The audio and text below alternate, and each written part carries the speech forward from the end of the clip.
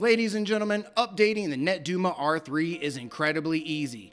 When an update becomes available, if you're on the main dashboard and you're looking at your left hand panel, you will see this little tab show up that says update available. If you click it, it'll give you information about that update. If you don't have your main dashboard open and you're wondering if the update is available for you yet, you can also check the three dot drop down menu and you'll see here where the update sits, update available.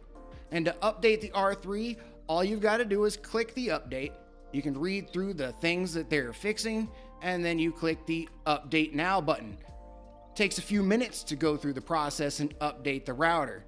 So once your platform version is changed, you'll get this little refresh message. You'll go ahead and refresh Duma OS. And then you're going to be right back in to your R3. Of course, you can also grab the firmware from the forums.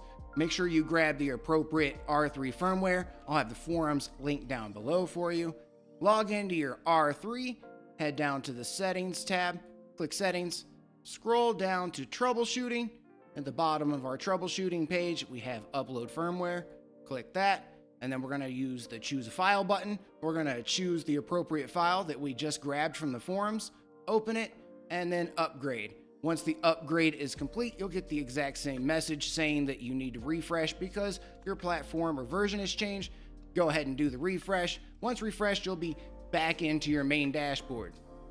After a big update, it's always recommended to factory reset the router and clear browser cache, or at the least, clear the cache for the R3 and go through the setup once again.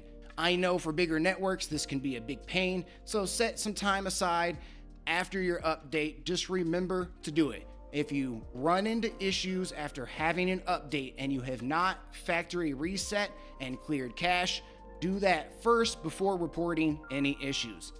All right, everybody, if this was helpful, you know what to do. Leave any comments, questions, concerns down below. And until the next time, as always, take it easy.